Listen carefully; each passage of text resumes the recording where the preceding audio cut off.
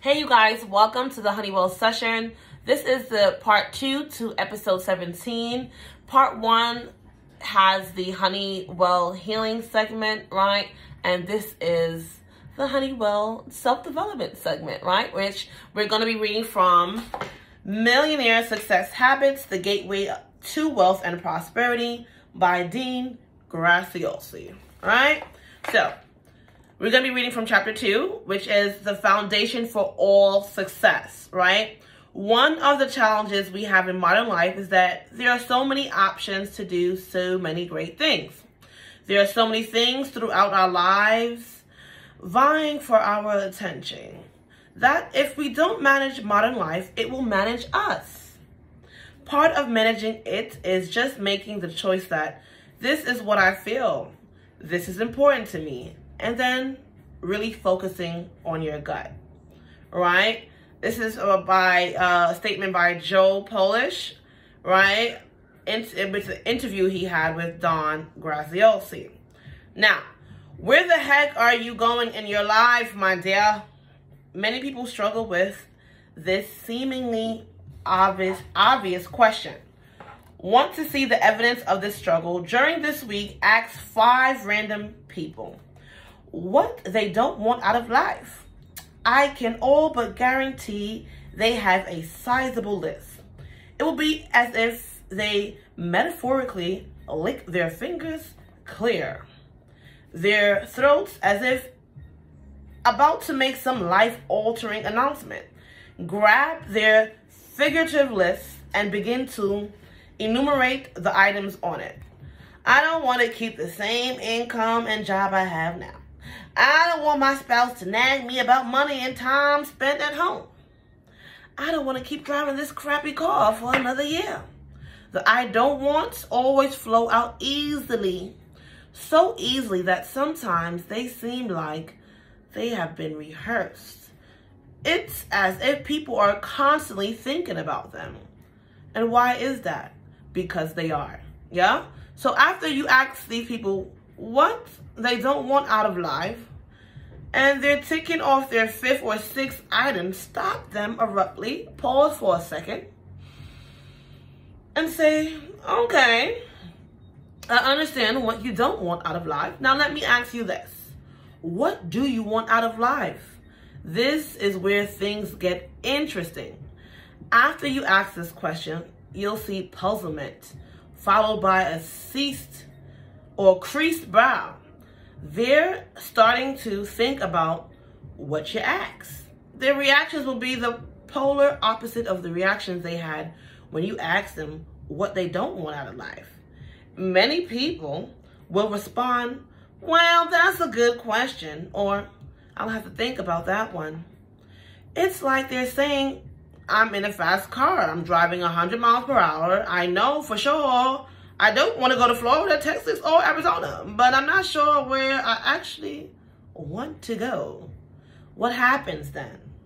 You end up nowhere. You end up out of gas and unable to reach your destination because you only know where you don't want to go. Sounds pretty simple, right? Maybe you're saying, oh boy, Dean, is that the grand wisdom you have for me? Actually, it's a huge part of it. But you have to wrap your head around what the wisdom really is. Once you understand it, you will see why this may be the biggest reason you are holding yourself back from breaking through to the next level.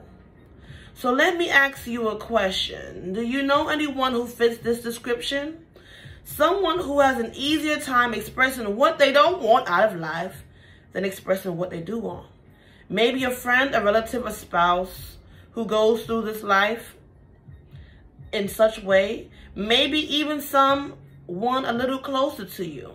That's someone you see when you look in the mirror after rolling out of bed each morning.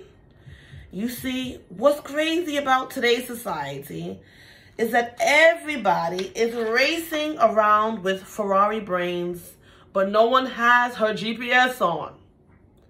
And here's the unfortunate truth for society like this. It doesn't matter how fast you can go. It doesn't matter how much passion you have. And it doesn't matter how much energy you put into something. If you don't have a vision and clarity on the, the destination you want to reach, you will simply never get there. I hear a crow out there crowing too. The reason I call it a Ferrari brain is because you can buy the most expensive Ferrari in the world and drive as fast as you possibly can. But if you don't know where you're going, you'll get nowhere quickly. Would you rather drive a Ferrari off a cliff at 200 miles per hour or drive a Prius to the promised land? Ask yourself. Slow and steady, know where you're going, or fast as hell, not knowing where you're going? Come on now. Now, when you have no idea about your direction, you tend to spend your time doing things that are preventing you from making more money, receiving promotions, seeing your family more, or even just enjoying life at the optimal or at an optimal level. And while you're doing these things that are in no way serving your future, you're forced to say no to doing the things that could further your business, your income, and your happiness. On the flip side, when you have a clear vision for your life, you'll stop wasting your time on things not serving your dreams, your goals, or your aspirations. Your actions will have purpose and your hours will be spent achieving those goals. Your procrastination will cease because you'll know with 100% certainty what you cannot put off until tomorrow. Right? Beautiful. Once again, the name of this book, if you guys would like to purchase it, is called Millionaire Success Habits. Okay, I'm not endorsed by him or sponsored. I'm just sharing you guys knowledge that I use along my journey as well, right? And from other beautiful people along the journey of self-development, healing, and evolving to your highest self. Now I'm going to close this off with some Moonology messages, right? Um, should I close this off with Moonology messages or should I actually before? I'm going to actually pull some guidance and evaluation messages from the tarot. Alright. And see what's going on. And then I'll close it out with some Moonology. Alright.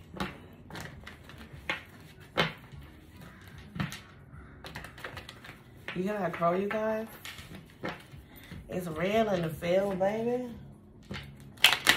All right, synchronicities synchronicities are all around you. You just have to pay attention.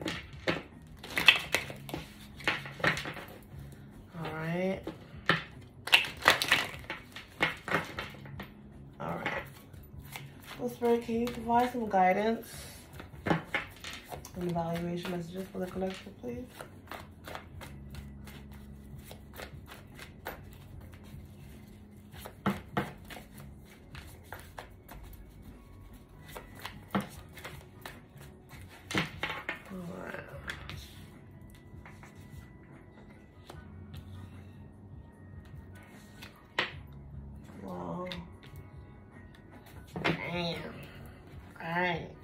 So the Five of Wands in reverse, right?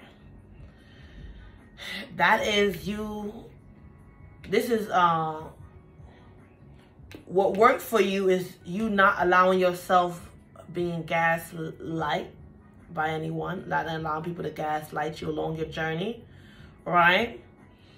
Not allowing you to, not allowing yourself to be pulled in too many directions where you find yourself burnt out, okay? And you not, what is working for you is you grasping every opportunity, not one at a timer, okay? So taking advantage of every opportunity that comes before you, right? Or the opportunities that come towards you, right?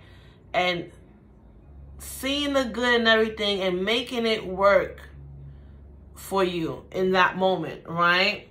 Instead of stressing yourself out, allowing yourself to be burnt out, allowing people to play you, uh, or, or worrying about the competition. Okay, don't focus on the uh, competing with others. Focus on competing with the old you versus the new you. Right, and that's what's that's what's working for you, and that's gonna work for you. Now, uh, what's not working is if you don't allow yourself to complete the cycle, right, while not not figuring out where you what it is you really want and going after it, it, it ain't gonna happen, baby. You're gonna be going nowhere fast, like the book recommended. I don't care how fast you're going, 10 10. If you don't got a solid destination, it ain't gonna work for you, right? And you know what I'm saying, not allowing your creativity to come into its full manifestation you know, they say almost doesn't count. That ain't going to work either. All right? So you got to go all the way. You got to go all the way. Okay? Halfway isn't good enough. Go all the way. All right? And focus on what you really want. Tuning that focus on what makes you happy, what's important to you, and the goals that you set out for yourself, right? It's time to complete these goals now, baby. Now, the sooner you figure out exactly where you want to go, the faster you'll get to your destination successfully and effectively, right? Now, your lesson is if you don't put the work in, you ain't got nothing to get out. Okay? You got to put the work in to get it out. I'm reading a book called The Millionaire Success Habits, right? And in this day and time with the way inflation is, I mean, who wouldn't want to, who wouldn't mind being a millionaire? All right? But you know, millionaire millionaire status requires work. Right? You got to put the work in.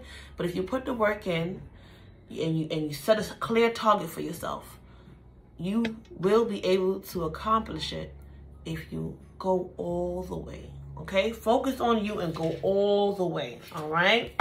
But you gotta put the work in. So also stay away from people that don't want to put the work in because um that's not to get you the results. You need, and those are not the type of people you want to surround yourself around, right? Be, be mindful. If you took yourself away, which are some of you guys uh, you, you did, right? Or you needed to, right? Or you're going to realize I need to separate myself with some folks. Because they ain't going to take me where I need to go. They don't inspire me, okay? Or they, or they don't convict me to stand, you know, stand firm, 10 toes down and do what I got to do. 12, 12 on the timer. So let's see what your Moonology message is here. All right.